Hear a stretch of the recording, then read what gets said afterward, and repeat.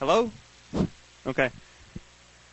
Ah, I'm Atom Smasher. Thanks for coming out. Thanks for waiting for all this fun stuff. Um, what I'm going to be talking about today is slaying the corporate litigation dragon, which is how to kick ass in a corporate lawsuit when you're told to shut down a website and you'd rather not. And there's probably a lot of stories about people who wind up in my position and wind up, for whatever reasons, being forced into folding. And they always, they always seem to get, get a full room. They always seem to have a packed house. And for some reason, nobody wants to hear somebody who won. I'm, used to talking to half-empty rooms. Um, anyway, how many people here have heard of CSX Transportation? Show of hands. Okay, right out the right out the window. You can hear it. Um, how many people has anyone here ever worked for, or currently works for? Okay. Um, CSX.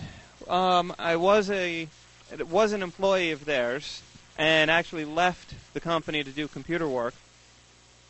And of course, I got to look over my shoulder while doing this, and just want to start off. If I have a connection.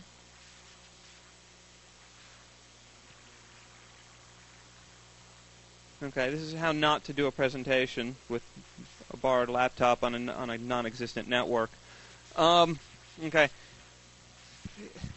Uh, yeah, somebody's idea to rely on a wireless network. Um, okay. Anyway, I am not a lawyer. This is not legal advice. That's my disclaimer.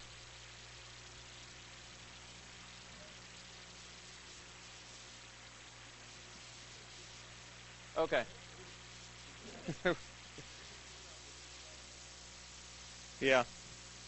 Okay. I'm not a lawyer. This is not legal advice. I'm going to tell you the story of what happened to me and how I wound up kicking ass.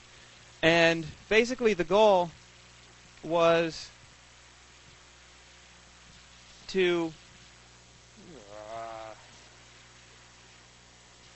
the goal was to wind up with a dot dash sucks site. Now, of course, CSX being a Fortune 500 company, they tend to not like it when you put add a dash sucks after their name, a dash sucks.com after their name. And needless to say, they they didn't like it. Now, interesting what happened was I knew that whatever domain name I came up with, they were going to come after me and get pissed off. So what I wanted to do was legitimately, and with them smiling on it, register csxsucks.com. And one of the ways that I did that was by kind of playing their hand for them and setting them up by registering csxdiversity.com. And one of the things that they have, which is actually two of their locomotives, which are kind of the pride of the fleet, they're the newest, biggest, best, whatever locomotives. They have this big thing on the side. It's you know CSX diversity, and it's all this corporate crap with you know like all the you know people of all these different Crayola colors holding hands, and you know as if they're a diverse company trying to portray this. And the whole thing's one of these corporate programs that's just a total joke. So being that it's a total joke, I helped them make a joke out of it and registered csxdiversity.com, knowing that they would complain about it, and knowing that when they complained about it, my response would be, well, okay, maybe if I register, if I'm using csxdiversity.com, maybe I'll go along with your theory that it caused confusion. But to avoid confusion, and because I'm a nice guy, how about if I register csxsucks.com? would that be okay with you? And then we can avoid this confusion because really that's what they're complaining about is the confusion, not the, you know, of course, they they don't want to impede my free speech. Um, so what I got after shortly after registering csxdiversity.com was this cease and desist letter, which is available at the Chilling Effects database, which is an EFF project. And basically what it says in here is, you know, you're running this website, it's going to cause confusion, we don't like it, and, you know, we demand that you shut it down, we demand that you cease operations immediately, we demand that you transfer ownership of the domains to us, And of course, we demand to hear from you by this certain time on this certain day. And my response was, go fuck yourself. I said, you know, this I'm not interested in playing by what your demands are. I said I have every right to operate this domain. If you want to work out a deal, let's work out a deal. And basically they said, well, if you don't do what we say you have to do, we're going to sue you. And I said, okay, go ahead, sue me. And they said, okay, we will. And they did. And they filed a suit against me in federal court, um, which alleged trademark infringement against them. And basically, what I wound up doing is I looked over how they wrote up the complaint against me, and it was kind of ridiculous. And what wound up happening was they offered me an out. They said, you know, we've we've charged you in federal court, and if it goes to court, you're going to lose, and blah blah blah. And of course, the thing is, nobody knows who's going to win or lose once it goes to court. You know, it depends on the judge, it depends on the court, depends on all these variable factors. Where in reality, it's a crapshoot. And of course, the probability goes to whoever has the case in their favor. And looking over the way that they wrote the complaint against me, and looking over the facts that I knew of, I realized that they'd painted themselves into a corner by complaining about things that were free speech issues on a complaint that's supposedly a trademark infringement case, which any judge would look at and say, this has nothing to do with trademark infringement. So when I realized that, and I looked over the what they had originally offered me, to say, you know, if you sign and agree to this, we'll drop the drop the case against you. And I kind of looked over it and I said, I got to be out of my head to sign off on this. This is ridiculous. I said, you're not offering me any protection from future harassment through legal channels. You're not giving me any green light to go ahead and do what I've done. Basically, what you're doing is you're demanding all these things that I do. You're demanding that still, you know, I transfer the domains to you. I stop using these domains. I go ahead and use the other domain. But then as soon as I sign off on it, there's nothing in this agreement that stops you from charging me again tomorrow. I said, this is ridiculous. I'd never sign this in a million years. But re- being that they have kind of forced themselves into this situation of court, really the only two ways out of it for them were to go to court where they'd likely be laughed at, or to renegotiate a contract on my terms. So what I did over the course of a year was renegotiate the contract on terms that were acceptable to me.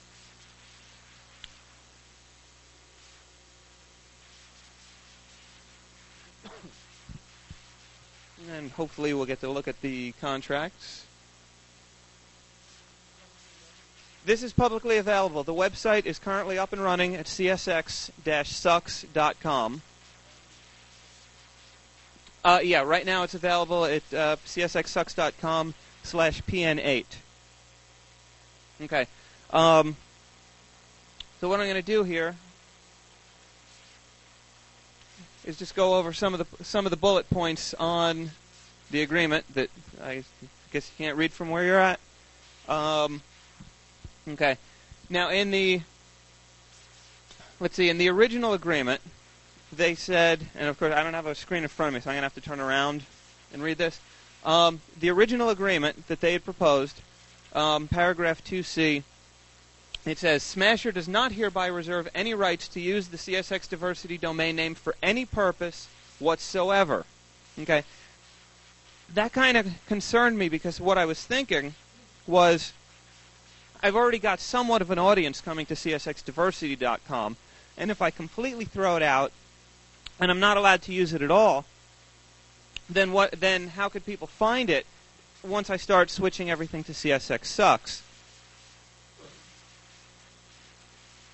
So what I managed to get added to the final draft of the agreement, which is what we signed off on, it says added in, except that these domain names may be used next to the hit counter on the csxsucks.com website to state this includes hits to the site's previous location, csxdiversity.com. The reason that was important to me is so by having that text appear on the home page, you can now Google for csxdiversity.com and who comes up. Okay? Something that they didn't think too far ahead about. Um, paragraph 2F of the original agreement that they had proposed, there was, um, of course, I don't have the agreements in front of me. Um, okay, basically what they were saying was that I have to do all this stuff, and they're not really going to do anything for me. So, of course, you know, part of a contract means that I do something for you, you do something for me. Otherwise, what's the point? Um, if we're not both getting something out of this deal. So what I had added in to the final draft of the agreement, it says CSX agrees not to take or cause any action that would impair or interfere with Smasher's ownership, registration, or maintenance of the CSXSucks.com or publication of the website content. And that might seem like something that would be important to have in an original draft, but it wasn't there. So I managed to get that added in, and that was very important to make sure that they don't sue me the day after I sign off on the contract. That they don't sue me for, you know, running CSXSucks.com.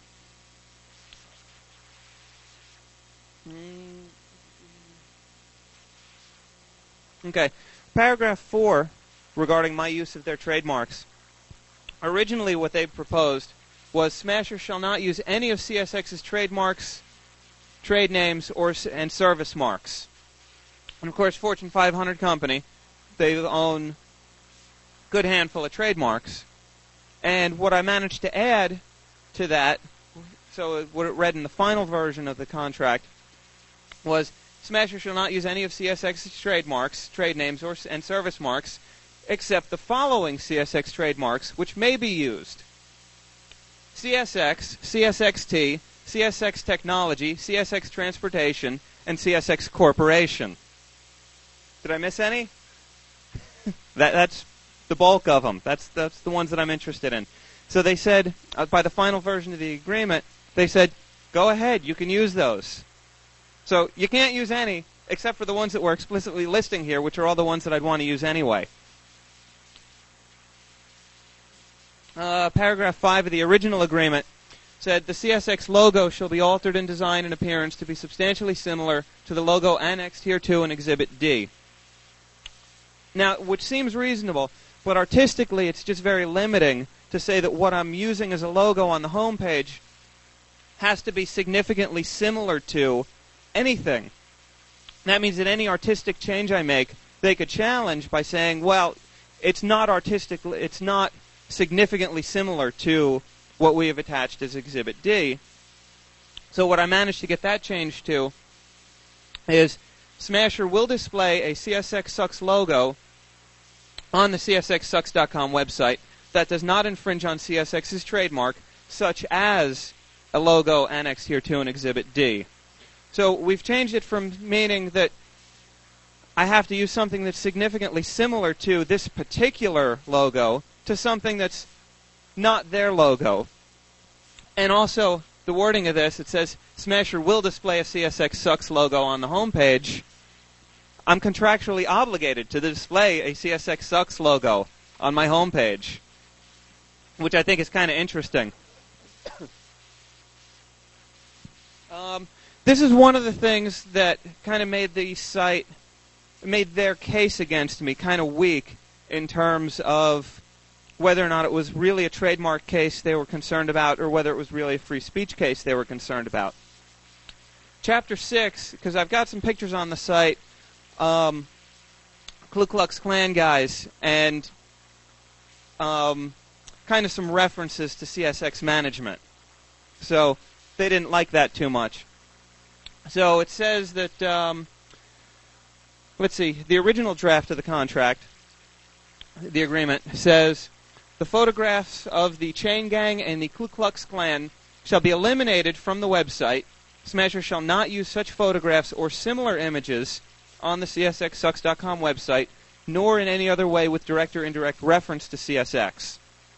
And of course, I didn't want my free speech impeded upon in any way, shape, or form. So, in the final version of the agreement, that paragraph was gone.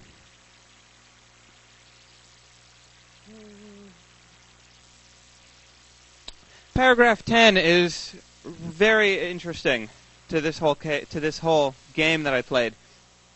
Paragraph 10, the original draft says CSX will pay to Smasher, fill in the blank, the cost associated with the acquisition and transfer of the CSXDiversity.com domain name.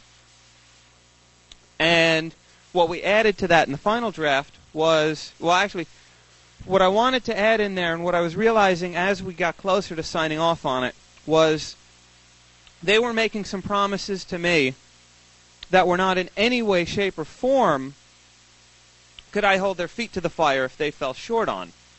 And I needed something to use as leverage to say, if you don't fulfill your obligation under this contract, I need to benefit out of it in some way. Because obviously, if I don't fu- fulfill my obligations under the contract, we all know they're going to hammer me over it. So what we added to paragraph 10 was in the event that CSX fails to pay any fees owed to Smasher under this paragraph within 30 days of the transfer, paragraph 13 of this agreement will be void. Paragraph 13 was the only paragraph in the entire contract that they were not budging on. And we'll get to that. But everything else, I got exactly what I wanted. In paragraph 13, they didn't want to be flexible at all about. So this was my way of saying, you have 30 days to pay me, or else we throw paragraph 13 out, null and void. Paragraph 11. Uh, let's see. CSX releases and discharges Smasher for use of the domain name csxdiversity.com. Um, doesn't say anything about releasing and discharging me from anything about csxsucks.com, which since that's the site that I will be operating from that point forward, I'd like to be released of any liability for it. So, of course, we added that in.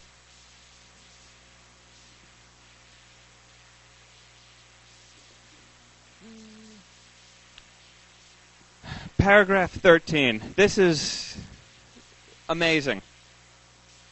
Okay, there's actually nothing amazing about paragraph 13, particularly.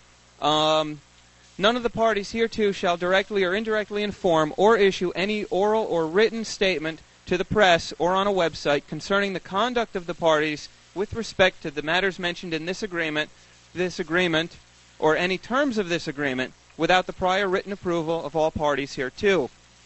And what that is essentially is that's a shut the hell up clause.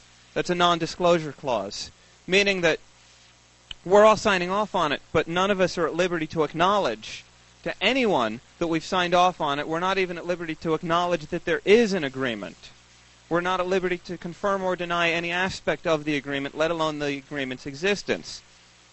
And of course, since my job as the webmaster of csxsucks.com is to make them look stupid, my job is to make is to make sure that the agreement is publicly known.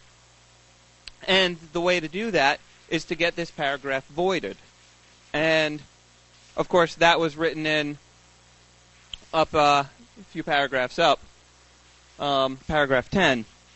And we'll get to this a little bit later on. Let me just go through the rest of this. Actually, that's um, that's the bulk of the contract. And that pretty much highlights the differences between what they had originally asked for when they said, "Here, sign this, and we'll get off your back," and what they signed, what we all signed off on actually a year later, which was kind of me saying, you sign here and I'll get off your back. Um,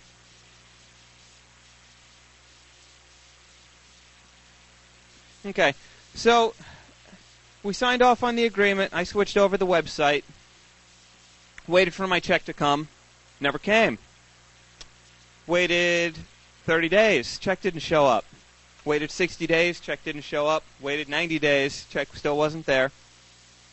I wrote a letter to CSX corporate offices, actually to their law department, to the person who was in charge of this.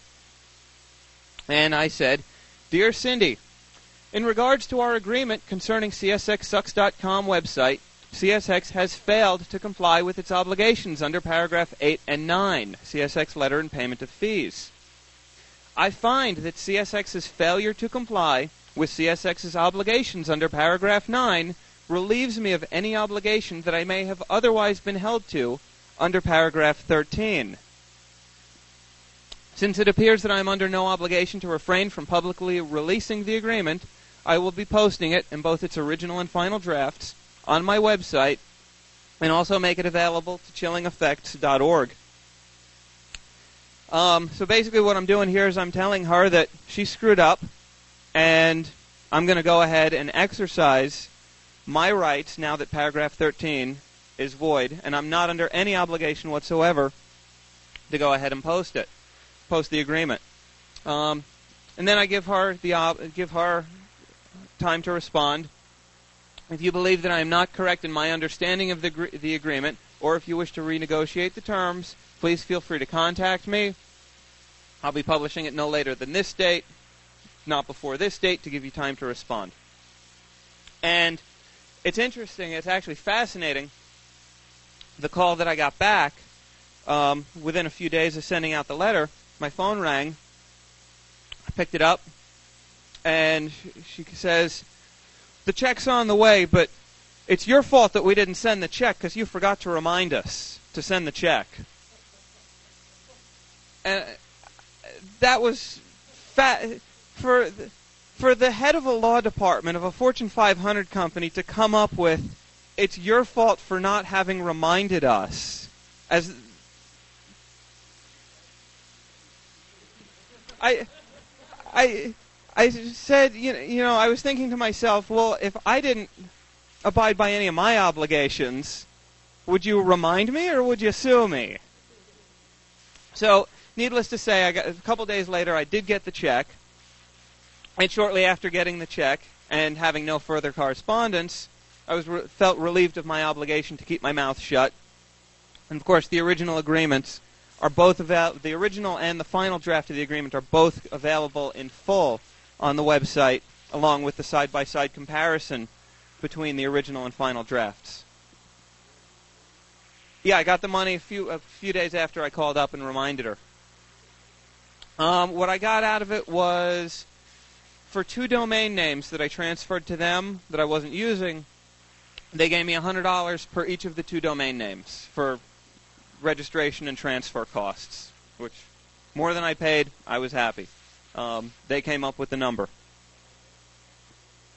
Uh, yes, they did let them lapse. Last I checked. Um, it, they actually they they took control of the two domain names days before day within days days before days after I forget but within days of expiration renewed them for one year and last I checked they were publicly available. That's csxdiversity.com yeah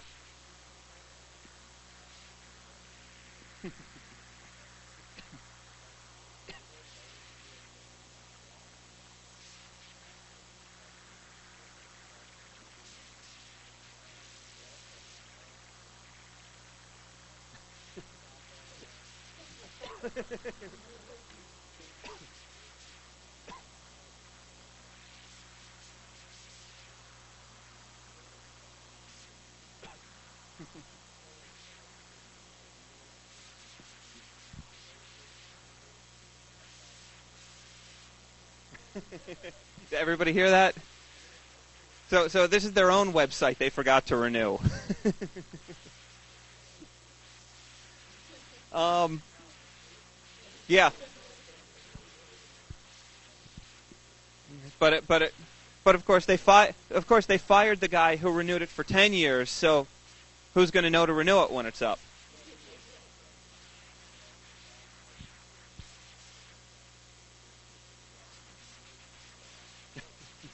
Uh, trains were held up for about two or three days. Uh, ru- yep.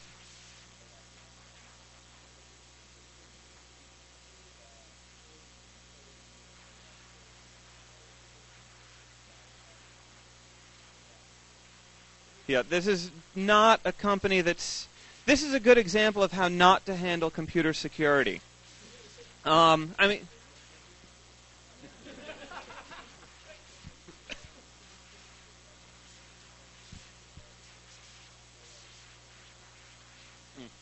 And of course, um, even if they did go ahead and register, preventatively register and, and just sit on csxsucks.com, I mean, there's still there's csxreallysucks.com. There's um, there's csxeatspoo.com. There's there's you know there's how many different variations can you think of, and can you register all of them? And the answer is no. But one of them that you might want to get before someone else does is csxsucks.com at least make it a challenge for somebody doing what I do.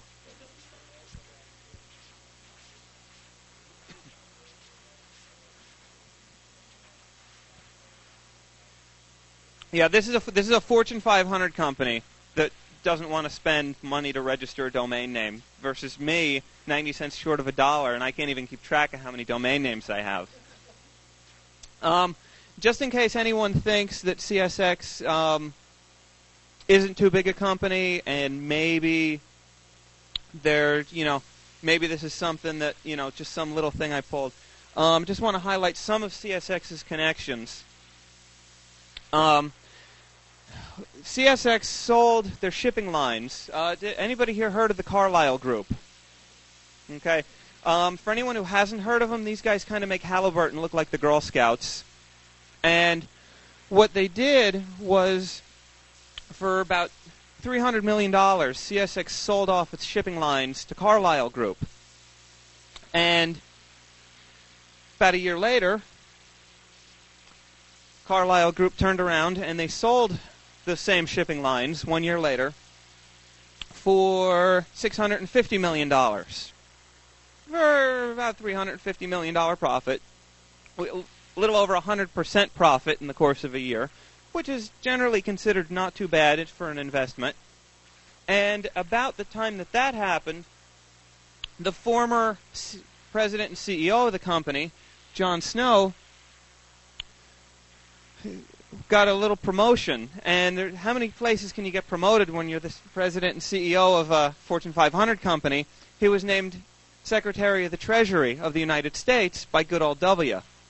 So this is a company with a lot of big connections. This is somebody that if they wanted to put a bullet behind my ear, they could, and they didn't. They were playing by the rule. they were playing by the rules, however poorly, but they were playing by the rules. And if I could do this with a company that's this well connected, anyone in here can do it.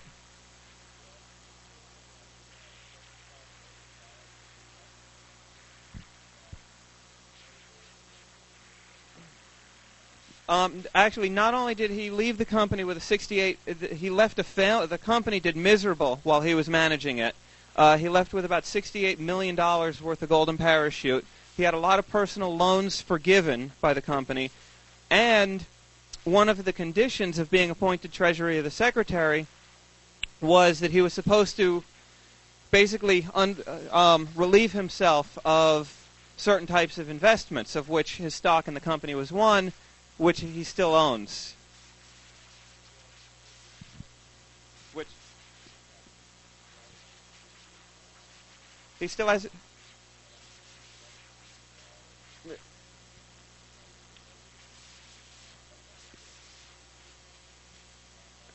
He also has uh, unlimited free trips on the company jet whenever he wants.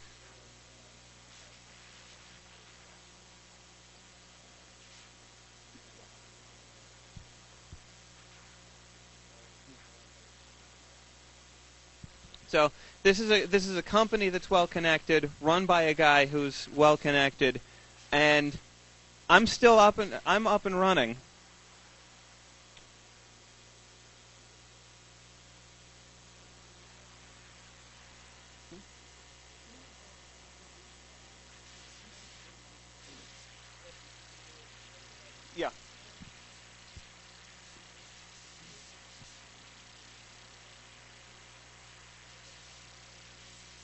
Yep, they got it. Uh, yeah.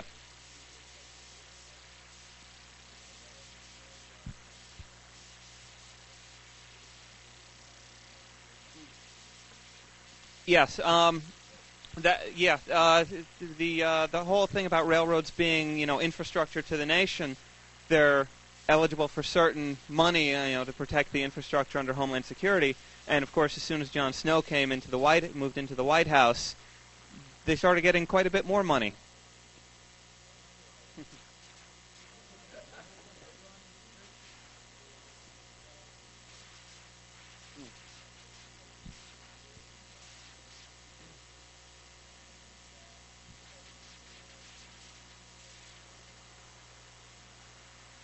Yeah, um, which makes the the entire company a lot more liquid as an asset to whoever wants to sell it.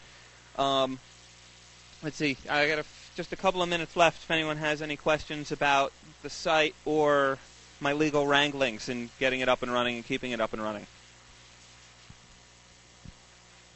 Any questions?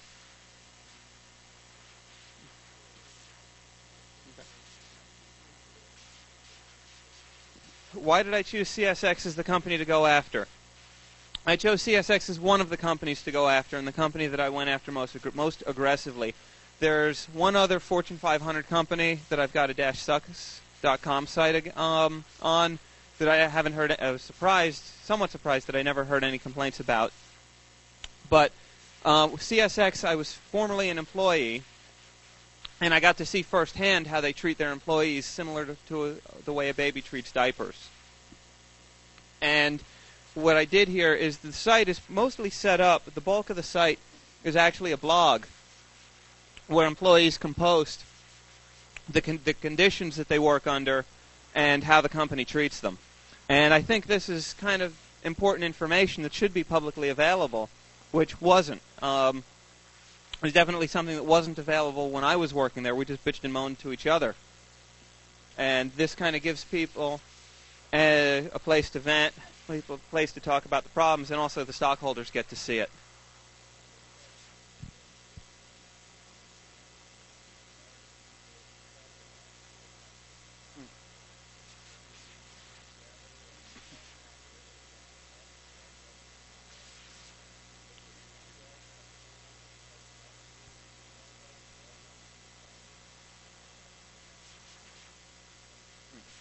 Yeah, CSX over over the last few years they've been doing a lot of layoffs. So there's a lot of ex CSXers around. yeah.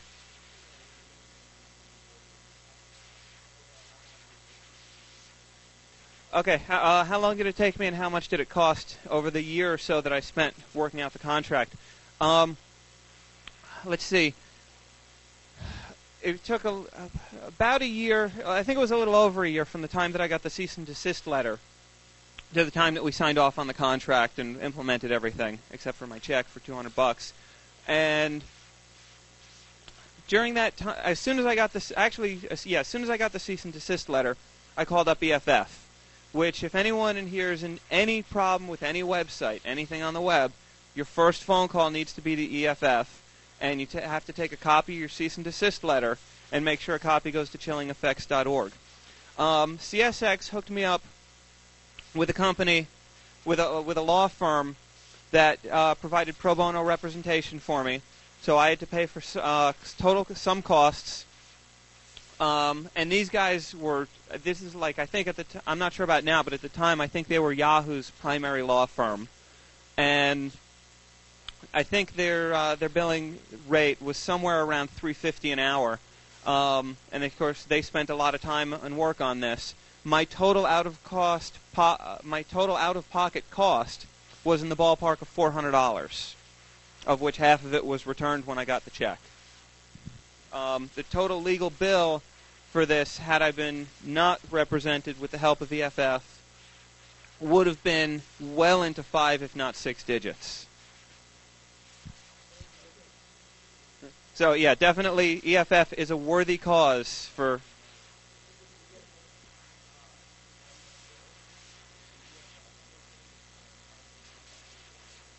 No, actually, the, what happened was EFF found a firm that took it on pro bono. So EFF didn't handle it themselves, but the, the firm did. Actually, one of the lawyers from that firm just recently joined EFF as legal counsel to EFF, as, as one of their staff attorneys. So I got to say hi to him next time I'm in San Francisco. Right. Uh, anyone else before I hand it over to the next speakers? All right. Thanks for coming out.